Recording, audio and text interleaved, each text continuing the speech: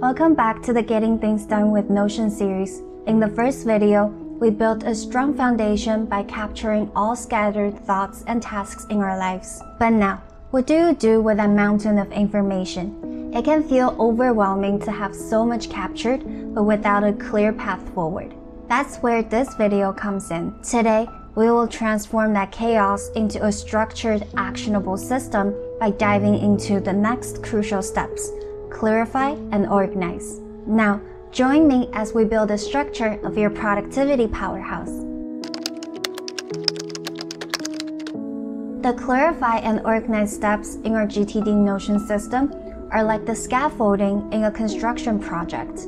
They are the essential supports that might not be visible in the finished structure but without them, the process could crumble. They allow us to move our building blocks to the right places, ensuring everything is stable and secure. The Getting Things Done book provided a workflow to further break down this process into three stages clarify, categorize, organize, or take action. First, we start with clarify, which is like laying down the base plate for scaffolding. The goal is to get a clear picture of what each task or piece of information really means, making sure that every decision made aligns with our broader goals. Next is categorize, which acts as the frame, giving the scaffolding its shape and stability. Here, we ask ourselves questions like Is this actionable? What's the next step? And how much time will this step take? These questions help us determine where each item belongs. And finally, we move into organize or take action. This is where the platform comes into play. These surfaces allow us to stand and work efficiently, just as organizing lets us create a system where tasks and information are easily accessible and manageable. Once organized, there are eight possible outcomes for each item. If it's not actionable, am I going to the trash, be deferred into the maybe or someday list, or filed as a reference. If it is actionable, it can be categorized into these five groups. I've tweaked this grouping slightly to fit what works the best for me, so feel free to do the same as you develop your own system. The workflow you just saw has been integrated into a toggle tree in the inbox, making it easy to reference daily. Let's walk through a couple of examples to get comfortable with this process. So on the left here are the captured items we discussed in the last video. The first one says, change the icon of the home page to something with a brighter color. So what is it? Sometimes the intention is exactly what you've written down. Now let's walk through the workflow. Is it actionable? Yes. How many action items does it require? Just one. Does it take less than two minutes? Yes. That means we've arrived at our destination. Do it now. This brings us the strategy I found incredibly helpful the two minute rule. If a task takes less than two minutes, do it now. So I'll quickly switch back to the home page and change the icon. And just like that, we're done. Personally, I often extend the two minute rule into a five minute rule. However, if you're someone who gets easily distracted by small tasks, be careful with this approach. You don't want it to become a distraction or a way to procrastinate. Here's how I manage it.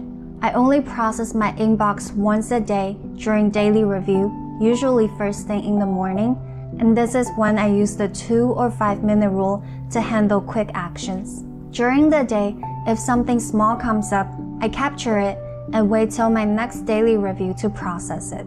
In my experience, Nothing has been so urgent that it cannot wait a day. Capture now and process later. Now, let's go back to the inbox. Once an item is clarified and organized, simply delete it. Here's another quick example. Read chapter 15 of GTD again. What is it? I want to reread the last chapter of the book to refresh my memory on the different levels of GTD mastery. Is it actionable? Yes. How many action steps does it require? 1. Does it take more than two minutes? Definitely.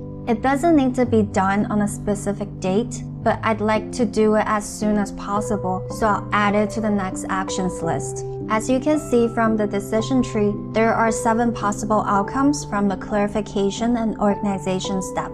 Follow this thought process and use the buttons to place each entry into its respective category. Fill out all relevant fields, and in the next video, we will discuss how these attributes make decision making easier in daily practice. If you can't find the right category tag in the drop-down, open the home page in another tab and go to Category tag under Quick Access on the right. You can add or change groups as needed. Personalizing the tags helps making the system work better for your needs. Among the seven possible outcomes from categorization, two are immediate actions. Either do it now for tasks under two minutes or trash for non-actionable items. That leaves us five databases to manage the rest. Remember the quick access menu on the right side of the home page? That's where you'll find three of these destinations, projects, waitlist, and references.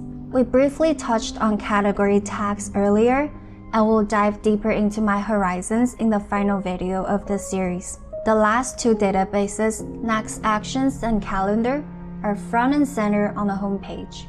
You might have noticed while filling out the fields for each category that each database is set up a bit differently. Let's explore what makes each one unique and how to use them effectively. Projects is the most extensive and detailed database and is where I spend the most time. In GTD, a project is defined as any task that requires more than one step. This can range from something as simple as research and purchase skincare to something more complex as designing a Notion template and sharing it with everyone. To truly get a project off the ground, it requires more than just adding a title to the database. That's why there is a note in the inbox reminding you to create a project plan and review it for action steps. The Getting Things Done method offers several project planning strategies, but the one I always gravitate towards is the natural planning model. Let's walk through it with an example. A few weeks ago, I was preparing for a garage sale. So to start, I need to define the purpose and principles of this project. By now, it's clear that in the GTD world, we love defining our goals and purposes upfront. This front-end thinking is critical to the success of your system. Having clarity about your intentions ensures that your actions align with your goals, so no effort is wasted. For this project, my purpose was to prepare for the upcoming garage sale by going through the house, gathering everything I wanted to sell, labeling each item with price, and setting up tables. As for principles, I wanted to have the right amount of items for this 5-hour event. From past experience, I knew the crowd would likely include older people looking for household items and families with young kids interested in school supplies, so I should make sure to cater my items to these groups. I also learned from previous sales that having predetermined price tags is essential. Next, what's the expected outcome? There are a couple of things I wanted by the end of the preparations. 1. All sale items properly labeled with prices and organized on tables by price and category. And 2. Cash prepared and everything ready to open shop sharp at 7 a.m. Now brainstorming and organization. For these steps, I've linked a whimsical mind map template in the project, which is a tool I like to use for project planning. Not all projects need a full brainstorming session or detailed milestones though. For example, for my garage sale, I didn't need an extensive planning, so I just jotted down a few items I thought I should sell and moved on to the next step. For action items, I always revisit my purpose, principles, and expected outcomes to make sure that everything I do aligns with my vision. For this project, I needed to go through the house and gather items I no longer need.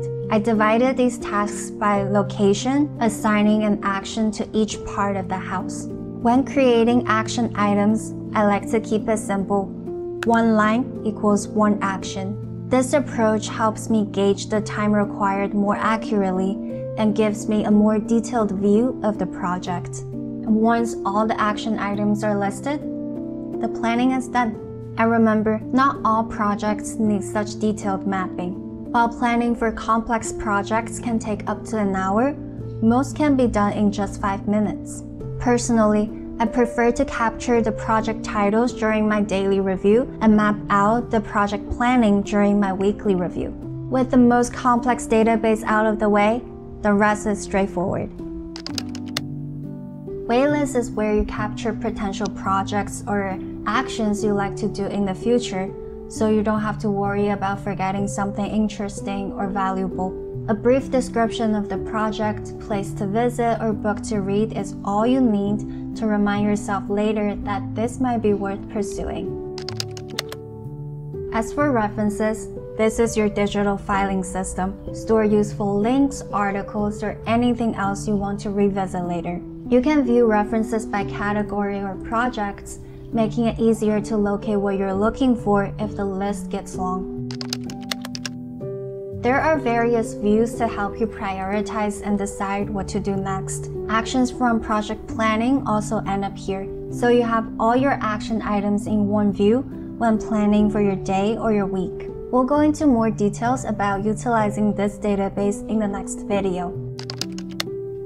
All items added to the calendar are in this database, but I prefer to view them in Notion Calendar. If you're like me, you might have a personal calendar, a family shared calendar, and more. By using the Notion app where everything is synced, you get a more holistic view of your schedule, making it easier to decide what to do when. By clarifying and organizing all captured items into their respective databases, you've laid the foundation and built the structure for your Notion Getting Things Done system. Think of each database as a room in the house. While it might feel like there are too many rooms to manage, maintaining their structure and tidiness is actually hassle-free. As long as you stay on top of a regular reflection and review schedule. In the next and final video of this series, we will unlock the keystone of your productivity system, reflection. And then we'll finally move into the Notion GTD house by engaging with the system that you've carefully built. See you in the next one.